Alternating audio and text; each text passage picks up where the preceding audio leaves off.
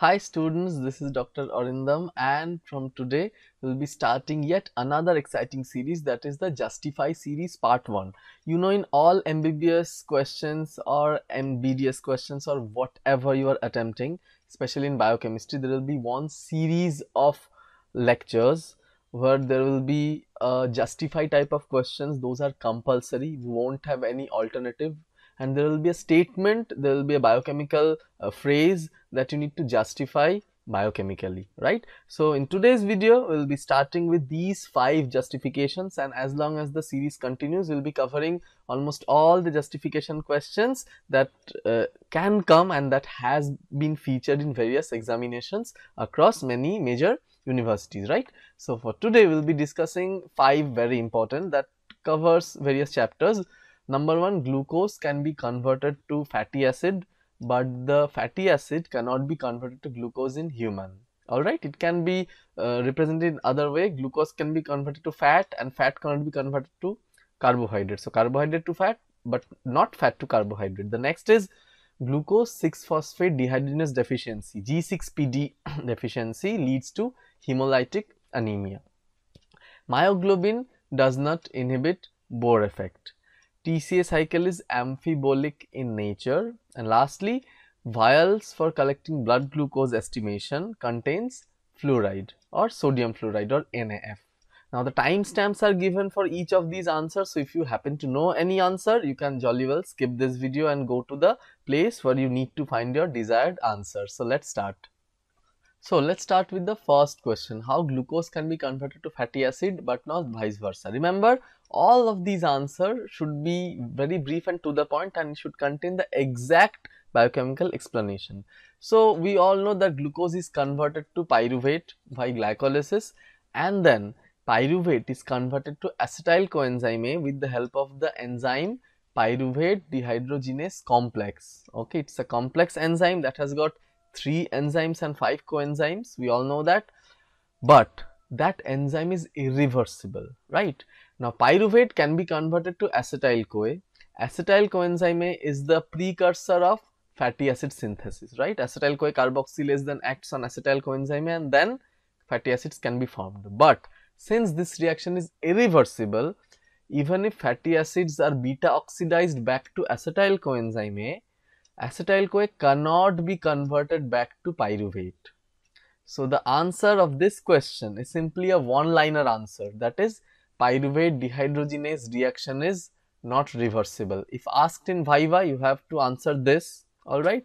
And if asked in theory, you have to write uh, in brief that glucose is converted to pyruvate and pyruvate to acetyl coenzyme A, acetyl coenzyme A to fatty acids. However, since this reaction is irreversible, the acetyl CoA cannot be converted back to pyruvate and then you get your answer, right. So, key word is PDH complex reaction that is pyruvate to acetyl coenzyme is not reversible.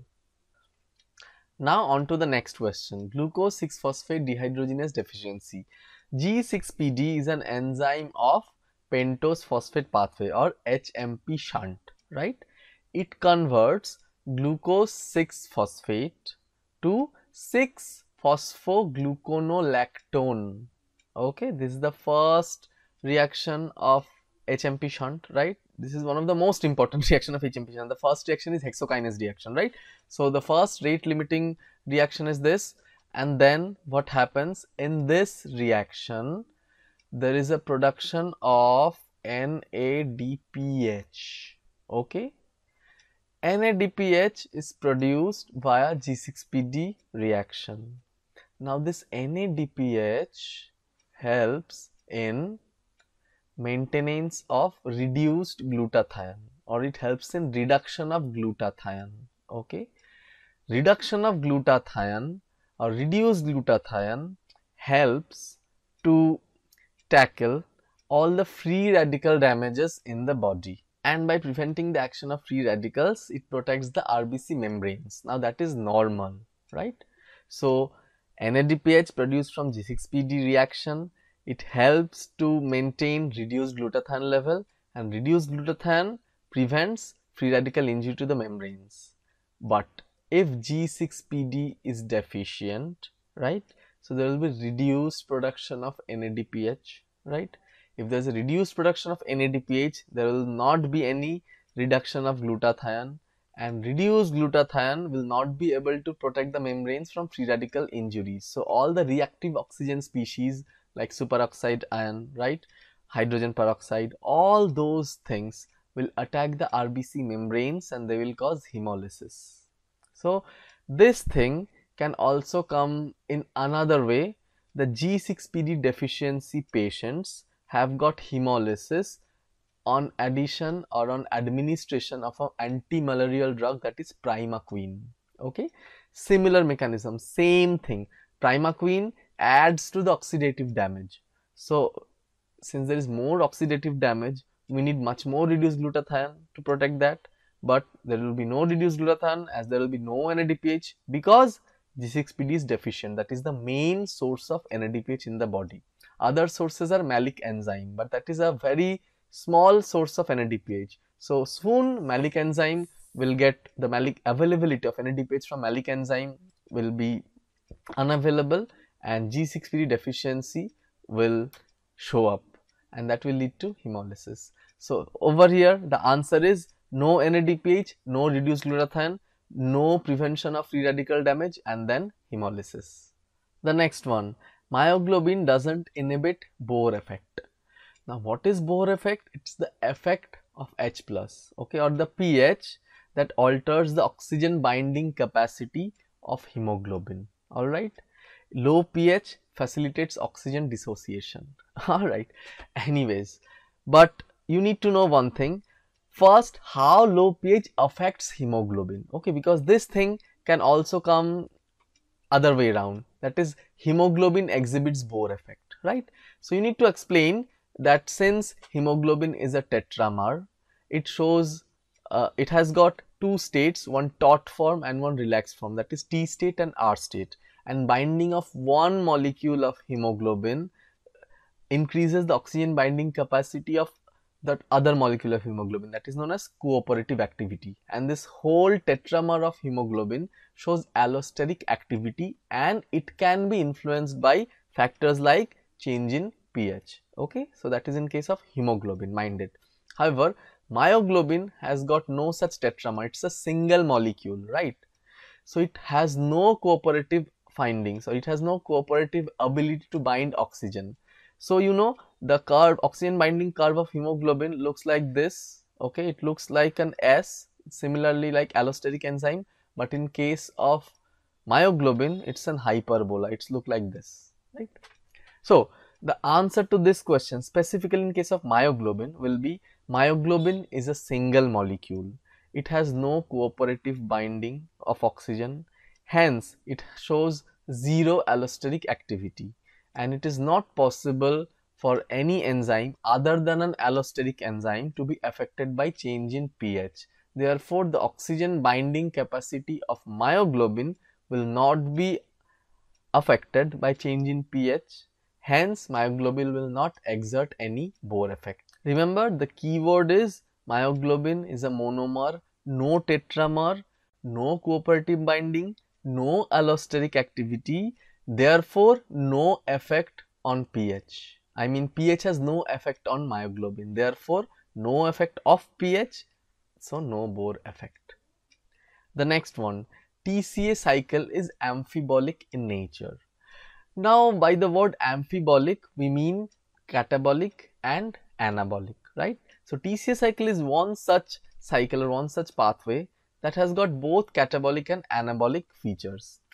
Mind it in all of these questions you need to give a schematic diagram. I mean the box and flow diagram. But in case of tca cycle you can uh, elaborate the tca cycle steps if you have got some time and then you can easily explain the amphibolic nature.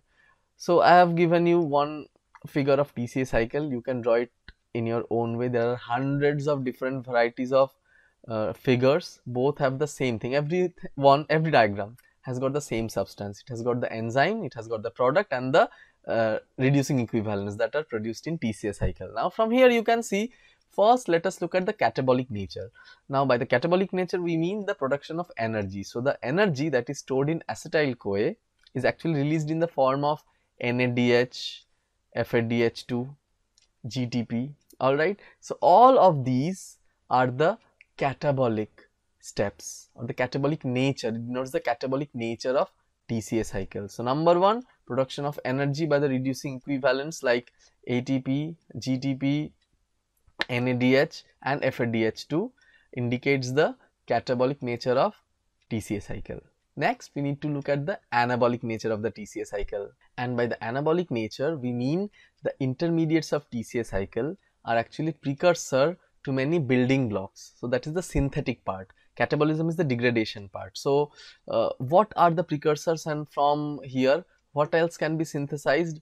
See uh, alpha ketoglutarate and oxaloacetate. Both of them can be transaminated to form amino acid. So, from here amino acid, from here amino acid by transamination, right? Succinyl CoA, succinyl CoA and glycine can lead to production of porphyrins, right? Hemoglobin.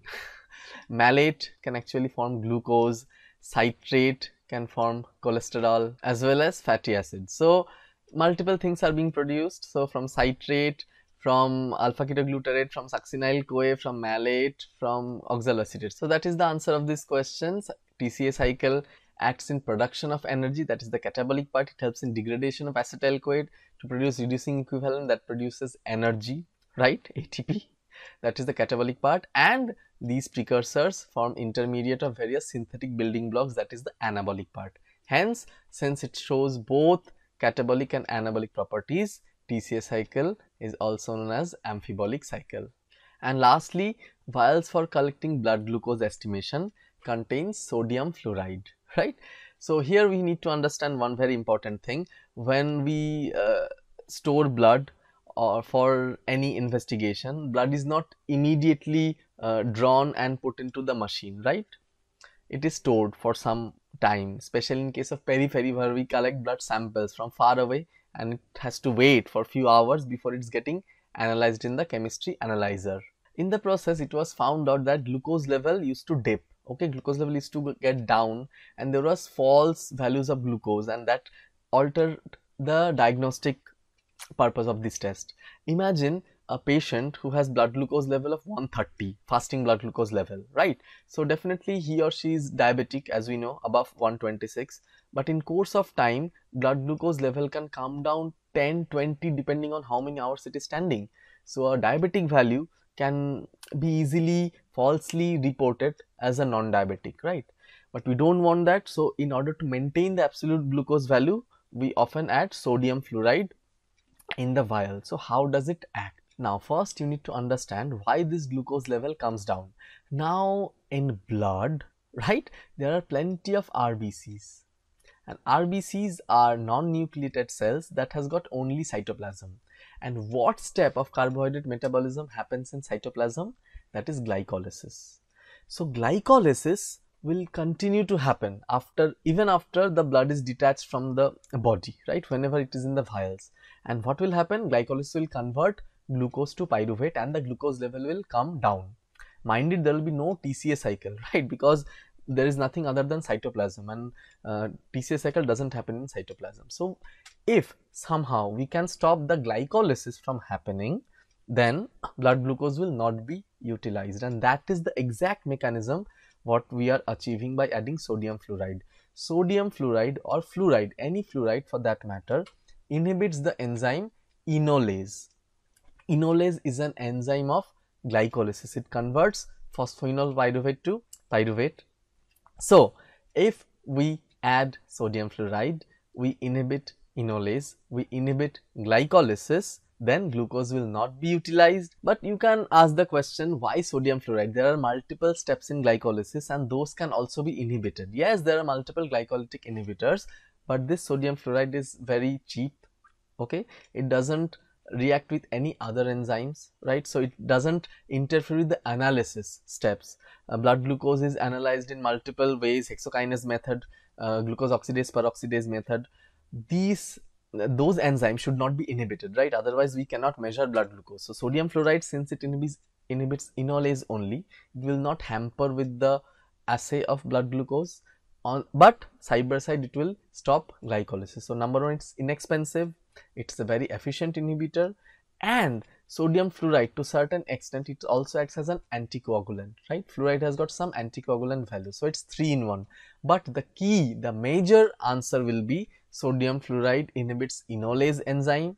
Enolase stops glycolysis. The inhibition of enolase stops glycolysis and rbcs cannot utilize the blood glucose by glycolysis. And then that's why blood glucose level will remain normal and that's why sodium fluoride is used in glucose estimation while the vials are being transmitted for blood glucose analysis. So student that was it. I don't want to stretch this video much right? I'll be back very soon with another video of the justify series but just let me know how you like this video. If you want this type of video please let me know in the comment section. And if you're watching this video till now please type the word amphibolic in the comment if you do this I will be knowing that if you have liked my video and you are enjoying my video and you want more and definitely since these are very important for exam perspective I'll be definitely bringing back more of this content very soon. So all the best for your exam. Remember to study all the three subjects anatomy, physiology and biochemistry because your goal is to pass in all the three subjects in first attempt. Anyways, I'll see you very soon.